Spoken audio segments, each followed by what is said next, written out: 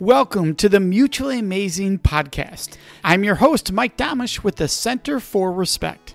The episode you're about to listen to was recorded when this show used to be called the Respect Podcast, so you might hear that mentioned during this episode. Well, let's get to the show.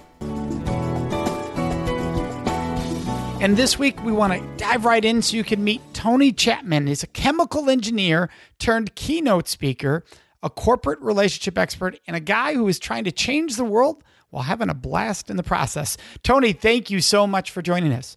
Hey, Mike, thanks for having me. Absolutely. And you, one of your areas of expertise is discussing unconscious bias. So, for all of our listeners, what is unconscious bias? Sure. The easiest way to think of unconscious bias, and, and this is important because honestly, it's such a hot topic that there's a lot of information. And in that, flow of information, there's a lot of misinformation. The brain can really be broken into two thinking systems. There's our very logical, you know, rational thinking system that we normally think of, but then there's that what I call rapid cognition. It's what's attached to all of our fight or flight mechanisms. It's when you you see a spider and you immediately have fear before you realize why you have it. Unconscious bias are really the prejudices and preferences and narratives that are stored within that rapid cognition that's attached to all of the emotional centers of the brain. It's why we have certain feelings. We size people up very quickly without even knowing it and determine whether we trust them, whether we like them, whether they're safe. All of those areas are wrapped up into that unconscious bias. And when people hear that and they hear something, words like uh, prejudices we may have, wow, they become defensive. Like, I, I don't have prejudice. And right away they fight, they push back from this unconscious bias. So, how do you help people understand? When you hear that word, it's it's not to take offense. It's that it's caused by the way with the culture we're raised in, the world we're raised in. Sure. So when I talk about it, first I really do break it into those two thinking systems.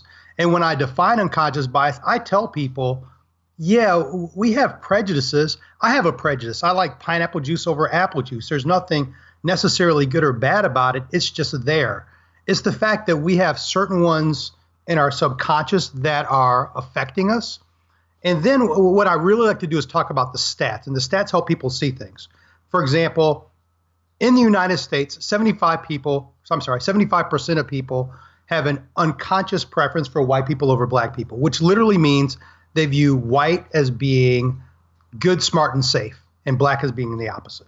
Uh, 76% of people more readily associate men with having careers and females with staying home with the family, right? 76% of people also uh, have an unconscious preference for people who are able bodied versus people who are dis- disabled. But then I come back and say, well, now let me tell you what I didn't just say. I did not just say that 75% of white people have a preference for white over black. Did I? No, I said 75% of people. See, that's not how bias works. It's more of a function of how we're programmed. And because of that, you can have a bias that's against your own self interest and a bias that's against what you consciously know to be good, moral, and true. And so, unconscious bias is in no way and cannot be used as a barometer of morality. It's not an indication of whether you're good or bad. It's totally a function of how you've been programmed, how you've been raised, what you've watched on TV and in movies, all of these other things that are literally programming our subconscious. And it's normally when I say that multiple times that the defenses begin to drop because now we're in an even playing field. Yeah, I'll never forget. I think it was almost two decades ago, and I might be I could very well be wrong about who said this, so I apologize for that up front. But the statement was, I believe it was Jesse Jackson who said, Look, I'm a black man, and if I'm walking down the street late at night, I have noticed that I move away from a young black man walking towards me or want to cross the street because I've been raised in the same culture. That even though I should know better, I've been raised in this world that says that's danger coming my way. Versus if that was somebody else coming my way, I wouldn't react that way. Right. I, that's why I think what you said is so important is that I right away when you said the numbers 75 percent, my brain immediately said, well, seventy five percent means the far majority of all genders, all sexual orientations, all identities fall into that. Yeah. Now, you know, th- there's a there's a flip side to that coin though too. So if I say 75%, I didn't say 75% of all white people, I said 75% of all people because we know that approximately 40% of black people have a preference for white over black, 40% of black people have a preference for black over white, and 40% of black people are neutral. But in saying that, I also don't want it to be a sense of, oh, then it's okay. Because that's the other danger, right? Is that when you start saying that, yeah, I want to take the stigma away, but that does not make it any less dangerous. And so it becomes this this intense balancing act of helping people to see, yeah, from a neuroscientific standpoint, we have to realize that we all have biases, but we also have to deal with the effects of those biases, and that's what we're really responsible and accountable for. Yeah, and I think that's what's so important here is that look, once I recognize the bias, now I choose what to do with it. To say, well, it's a bias, so I don't, I just, it's the way I think. No, you choose at that moment what to do with that bias. You choose to say, I am not going to let that bias because I'm recognizing it. When we don't recognize it, obviously we're not able to do this. But when we recognize it, then we have a moment to pause and go, okay, am I going to make a choice knowing that bias is making the choice? Or am I going to say, no, I want to separate that bias from this? Now, what choice would I make? That's really what we're talking about. Is the key to moving forward, correct? Well, that's certainly one of the keys. I would definitely agree with you. Part of the challenge is people aren't aware of their biases. They think that they're more neutral and objective than they really are. Technology has helped us in amazing ways in the last 10 to 15 years, especially the advancement of functional MRIs.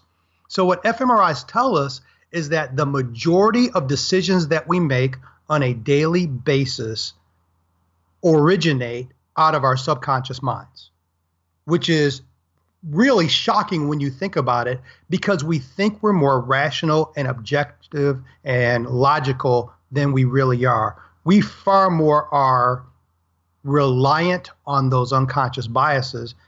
And the challenge is we're not aware of them. When we become aware of them, that really allows us to be able to address them, just as you said. But becoming aware of them is really the great challenge.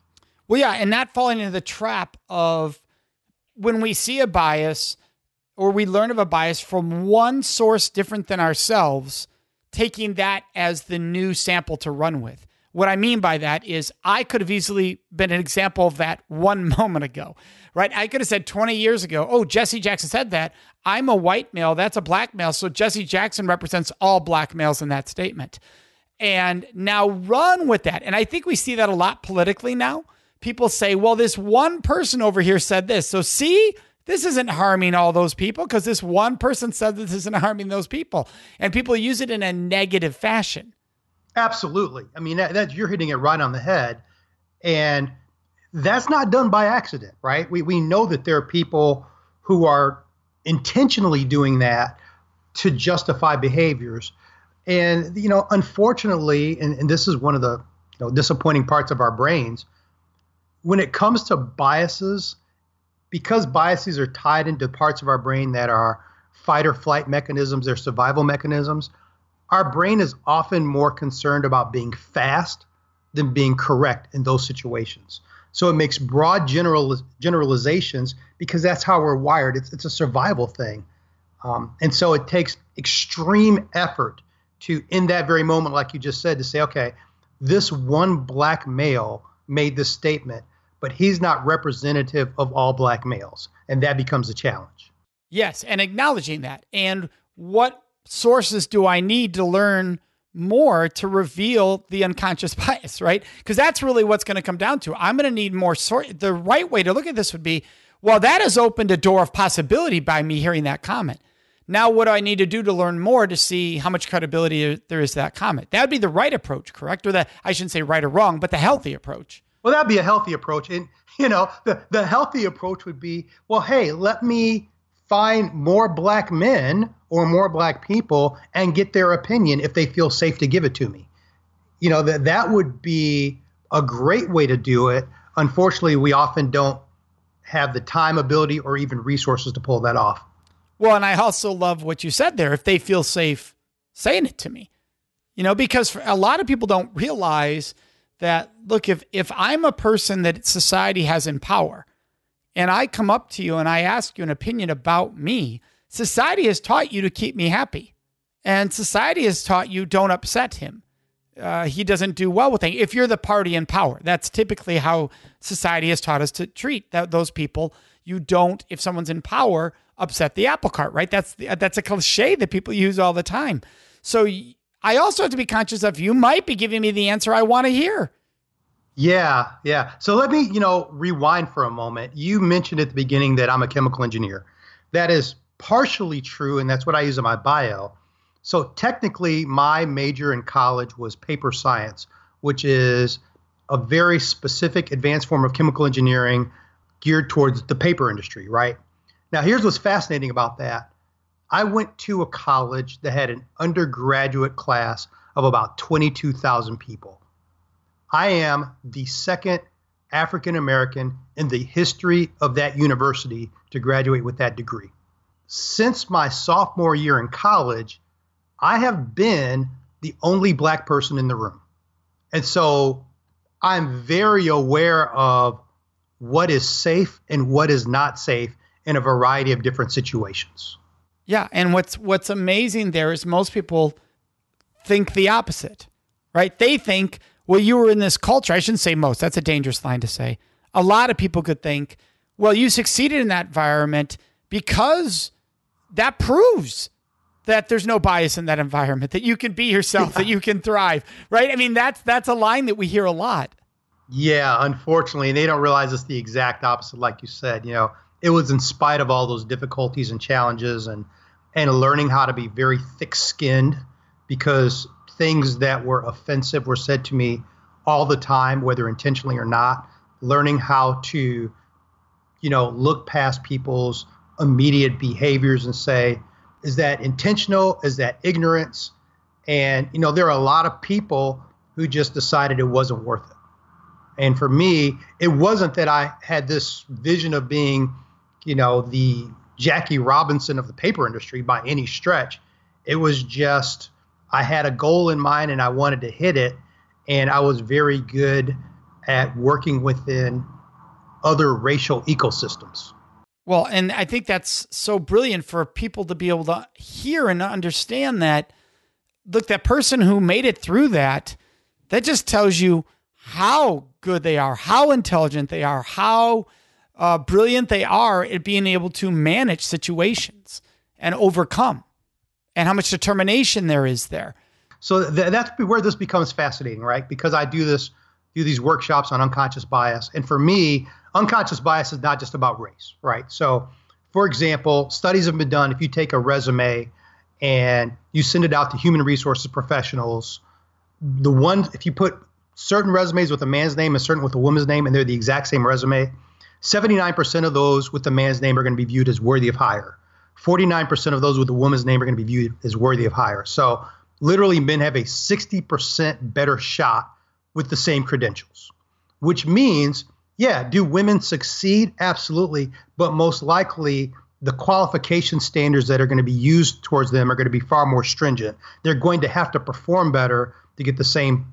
We're seeing more of those discussions come up in the last five, ten years. How do we help people recognize to be aware of their own possibility of unconscious bias. You know, I always, when I'm training people on the military will bring me in or corporations will say, Hey, can you help train us on how you do what you do? Not, they're not, tra- I'm not giving them my speech, but I'm training them on how to engage audiences in these conversations. And one of the questions I ask when I'm working with them is they have my workbook in front of them. It says, You can never be blank inclusive. And people always have all these answers. The one that it is is you can never be 100% inclusive because you don't know your biases. Right. You don't know what you just said that excluded somebody from the conversation because you don't know what you don't know. So the question is how do we become more aware? How do we become more sensitive to the possibility that what we're saying is having an impact we're not aware of? Sure. Well, there's multiple ways. First, you know, the, the, standard way would be to say take the implicit associations test, right? That's the test that was developed by Harvard and MIT and University of Virginia. It's on Harvard's website. It's actually if you Google implicit associations test, you can take it on a variety of different dimensions, right? That's the simple way. I don't think that that's needed by most people The first thing is to be open to feedback. What does that mean? If I'm in a situation and something happens and I say, wow, you know, could there have been, you know, some bias in your decision making? The open minded person would say, huh, let me think about that. The unopen minded person will go, hey, I'm not a racist. Are you playing the race card? And you, you can see all these other scenarios building up. The truth of the matter is, we get a lot of feedback and we often don't take it because we're not willing to view ourselves as non perfect. And the minute we're willing to say, you know what, if I'm not perfect, then I have blind spots. And this person may not have the intention of trying to hurt me, they may be just trying to help me to see my blind spot. That would open up a lot of doors. I think the second would be the second would be to change your friend group. And that was one that I personally had to do. You know, so I'll be uh, I'm good at being real and transparent and not always PC. You know, here it is. I grew up in a very religious household in a very religious environment and especially maintained that or or re uh, incorporated that after college, right? I became very religious. I had to ask myself, so how do I feel about the LGBTQ community? I mean, really, if I talk about, especially now that I talk about unconscious bias, but even before that, if I'm going to maintain that I'm such a good person, I've got to go back and say, based on things that I've been taught, things that I've been heard, things that I've heard, things that I've been exposed to, what are my real thoughts? And the best way to change those thoughts is to begin spending more time with people of that demographic. And so, and it's easier to do as a professional speaker because there are tons of professional speakers who are in the LGBTQ community. So I now here's here's what I didn't do. I didn't say, hey, they're LGBTQ, let me go hang out with them. I just found environments where they were more likely to be and as they revealed themselves to be who they are, it helped me to say, well, no, that person's just that person. And it began to change my paradigm. But I knew I had to change my friend group. And here's why that's so important. The Public Religious Research Institute says that 70% of white Americans do not have a black friend. So 70% of white Americans don't have a black friend. And that's self reported. When they're asked, Do you have a black friend? They name all their friends. Says, so how many of these are black? Oh, none. Okay, 70%. Yeah, which means there could be more than that that don't, because some people are going to naturally yes, I do out of guilt conscious, right? Or that someone's in my circle, so I call that my black friend. Yeah, exactly. So now, when that person sees something on the news, when they see something in a movie, when they hear this, see that, they have no benchmark to go and compare that to. And so, and they have no feedback mechanism to say, well, okay, I see that, but I know Tony and I know Steve and I know Francis and I know all of these other people who can help me to go, wow, that, that's not accurate. And for me to start believing that means I need to question my own thought processes. So uh, that really can help. Absolutely. And I let's go back to the feedback one because I think you might have seen this happen. I think you might be in this we're in the same Facebook group where this happened about receiving feedback. Recently some speakers were talking about I come off stage, somebody gives me unsolicited feedback. How do you handle this? And in the speaking world there was this debate going on in this forum about I tell them thank you for offering, but I'm not looking for feedback right now. Like they'll give that response. And the first time somebody told me this was in this past year.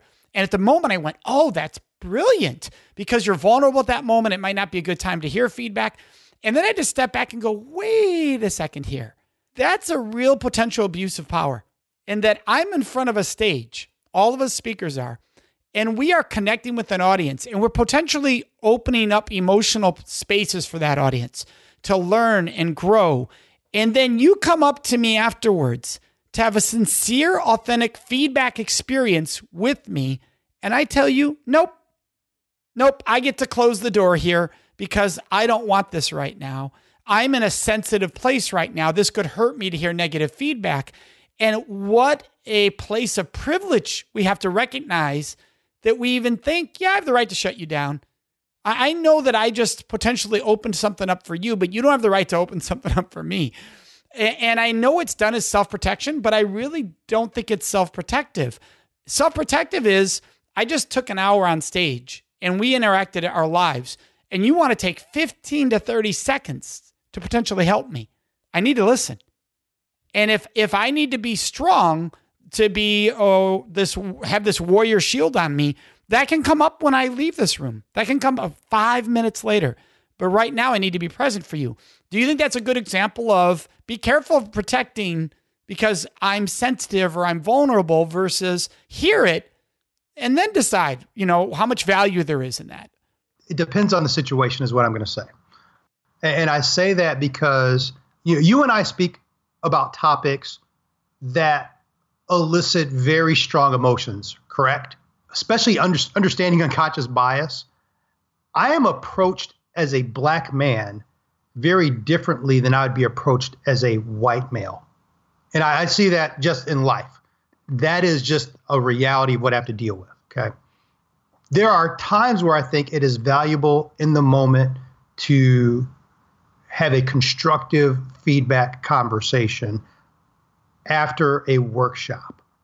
There are other times, though, where I think it's really important that both parties have a moment to get their thoughts together and their emotions under wraps because if they don't, it's easy to have a conversation that's not really about the issue, but it's about the emotion that I felt in that moment. And if I respond to that emotion versus having the awareness to say, okay, wait, wait, I hear you saying that, but is that really, look, how, how do we dig into the real issue? And, you know, that may have been misheard, you know, all these things it's sometimes giving the other person a moment to get their thoughts and emotions together. Because I can tell you, there are times where I am a victim of a bias that if I address it in that moment, it is going to be extremely unhealthy. One of the best pieces of advice I've ever been given, right? It's when you're when you're in the middle of a conflict, what's the worst thing you could say? The worst thing you could say is whatever makes you feel good in that moment because that is a self-serving phrase, right? In that moment. So, you know, I think that there's two sides of it. I think if it's just for self-protection, that becomes very dangerous. But if they could be open up to, hey, look, I'd like to have a real conversation with you about this. Can we, you know, maybe 15 minutes, 20 minutes later, kind of come together, and that way I can give you five or 10 minutes of, un, you know, uninterrupted space to really hash this out. I think that could be beneficial for both. So I think it's important to have the feedback, but to also figure out how to make that feedback constructive. Well, I love what you did right there because whether you're a speaker or in any job, to say to somebody, can we come back together in 15, 20 minutes or in two hours? Let's say it's in the workplace and have this conversation where we've had time to, you know, really think about. I think that's brilliant because anybody could take that approach. And I want to thank you, Tony, because you right there showed, helped me reveal the privilege of when I walk off stage as a white man, I'm not fearing the feedback. But some people could be, and I'm not saying you would be, but some could be. It's possible that due to gender or orientation, that feedback could become dangerous in some ways for some people. I just thought, well, due to my own experiences, why wouldn't I? Except for the fact that I might not be in a place to hear it at that moment, which is still important. But that was very helpful. Thank you. I appreciate that. And, and I think you just you hit it on the nose. You know, it's one thing for me to feel that as a black male, but what about as a white female? Right? They could feel all sorts of things depending on how the person approaches them. And they probably deal with many power struggles I shouldn't say probably, but they're more likely to deal with a power struggle during a presentation than maybe even I am. And so uh, I, I appreciate what you just said was you basically said my experience is not the universal experience. And I think that right there, if we could all figure that out, that would open up so many doors for more dialogue. Well, and you you got me there, so thank you. To I mean, I'm obviously when I work with organizations, we have these kind of conversations, but and I think that's what's so wonderful about having this conversation with you today is those of us who work in this field still are constantly. It's a discovery. It's it's an ongoing discovery because of what you said. Seventy six percent of our thoughts are not thought out. They're reaction, they're thought out by the subconscious, but I didn't consciously make that choice completely. And uh, that's so powerful. There's nothing wrong with being wrong, right? Probably 10 workshops into me doing this, I shared this example of a guy I play basketball with. His name is Matt. We're good friends. When we first started playing basketball, he was super aggressive towards me. And I kept thinking, we're going to get into a fight. I mean, it's just going to happen to the point I took actually a couple weeks off of playing basketball. So we're, you know, playing one day and, you know, we were both waiting to get on. And we just started rapping, you know, talk about whatever, whatever. And he began to share with me how difficult it was for him when he moved into the country, you know, because he moved, you know, as a teenager from Poland and Eastern European countries. You know, if you looked at the passive aggressive continuum, they are far more assertive and aggressive than the United States. And so at that point, I started to make some connections and say, well, you know, that that makes a lot of sense. And he started sharing, you know, how difficult it was to adjust and for his brother to adjust. And so I shared, you know, in my class, you know, that I had to go back and look at the source and to say, you know, maybe, you know, dealing with coming from this, even as he explained it to me, that that was part of why we're going at it. And someone says, well, do you think you're being biased? And I, you know, my response immediately was like, well, no. I mean, I'm actually going off the information he's telling me. And then later I thought about it. I thought, well, wait a second. I know tons of Polish people who aren't like that, right? I mean, uh, he, as the very person giving the workshop, I have this huge blind spot. And fortunately, someone was able to point it out to me. And the, uh, even though initially I dismissed it, I had to come back and say, but wait. And that realization of we're going to make mistakes, and making mistakes does not make us bad people. No, when we recognize them, it gives us the greatest opportunity for growth. I, some of the most painful feedback I've had in 27 years of speaking has been the feedback that revolutionized how I approached a situation going forward. Great point. Great, great point. And so it's a matter of even at the time, if you're defensive about it, maybe you walk away and five minutes later, you're like, why is this bothering me so much? Because it's true. There's something right. there. And that and that's painful to admit I've been doing it wrong. You know, so and we all do it in relationships. The person closest to you, we shut off the quickest in an argument, right? So if you're married and your spouse says something to you, you're like, no, but you don't understand. But if your friend who over here says, hey, did you recognize this? You're like, oh my gosh, that's brilliant. I didn't think of that. And your spouse is going, what? I've said that before. But but we're shutting down certain sources uh, because the versus other sources, and it's opening to all of them going, you're probably saying that to help me.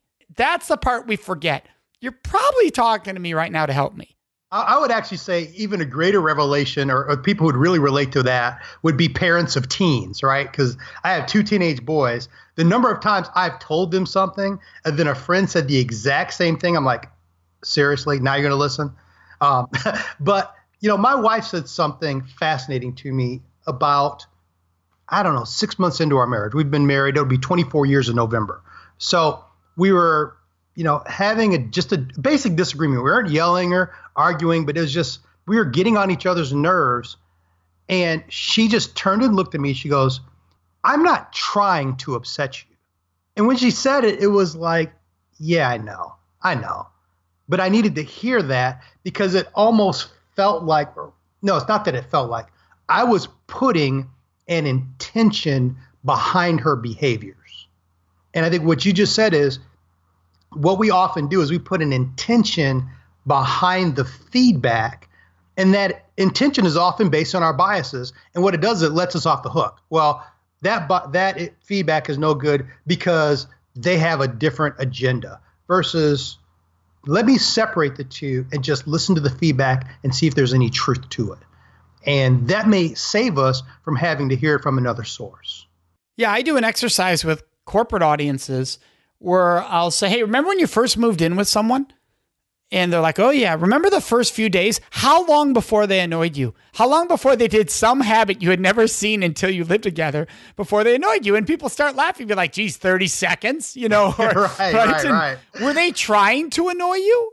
No, what were they doing? Being themselves. That's what was annoying me. Okay, so that was never their intention to annoy you. And it's the same thing with triggers that can cause, it doesn't mean they're always intentional. Some are, and that's a whole nother discussion. But a lot are not. So I think that's so brilliant you brought that up. So thank you for sharing that. There's two books you really recommend, Tony, and they are Thinking Fast and Slow and The Power of Habit. Why those two books? Thinking Fast and Slow is like the scientific Bible of unconscious bias. And I say that because when Daniel Kahneman wrote it, he this is what he all of his work had been based off this, and he actually won a Nobel Prize for it. The science behind it is what's so important. I've actually given this presentation and had board members from the National Science Foundation come up, validate everything I've said, and say they want to collaborate with me. And my number one source of information came from that book. Um, it is almost a must read if you want to understand the true science behind why we think the way we do, and to realize it's not just about people, but it affects how we make decisions about data, about other, you know, just almost everything. We're really not objective. The power of habit, one of the things I'm really diving into is how do we really reprogram our biases? Because I think that's what we want to do. Many of the solutions we often give are ways to mitigate the effect of bias, but how do we reprogram our mind? And the power of habit seems to have some amazing keys of how do you change habitual behaviors. And, and it really comes down to how do you change your thinking. Um, and so I, I'm still diving into that, but it seems to hold keys that no one has taken and applied to concepts like unconscious bias as methodologies for really making lasting change. So that's why I say those two books. Well, thank you for sharing those. Tony, last question I have is I can hear some people probably out there thinking, how do I do this without constantly feeling a, the old cliche, I'm walking on eggshells with everything I say? Yeah, okay. So here's the reality. And I'll say this not as an unconscious bias speaker teacher. I will say this simply as a black man in America. Most people of color most women, most people of other ethnicities, of other religions, actually want to have the conversations, in all honesty. The challenge is we're often able to separate action from intention because it's the world we live in. It's really often the fear coming from the majority of not wanting to have the conversation. And especially because they're fed narratives. You know, if you're fed a narrative that for example, you take what your your topic, right? If you're constantly fed the narrative, yeah, but you know, you don't want to be falsely accused by women of of raping. Well, is that a valid fear? No. But it's a fear that has to be addressed, right? But the truth is, I believe a lot of what your topic speaking of is exactly what people want. So it's we have this fear of walking on eggshells. It's not a valid fear and the problem is, if we knew more people who weren't like us, we would realize these conversations are actually easier than we imagine. And, and I'll use this as my example. I've come to realize if I can't joke with you about race, you're not safe. That's brilliant. We'll just throw out, I mean, we'll be in somewhere and I'll just throw out a joke. And, you know, and I've had people who I really respect to go, just their reaction made me go, man, if we can't have this joke, and I'm joking about my own race, let me make that clear. So this is very self deprecating. If it's that uncomfortable for you, then there's conversations we'll never have.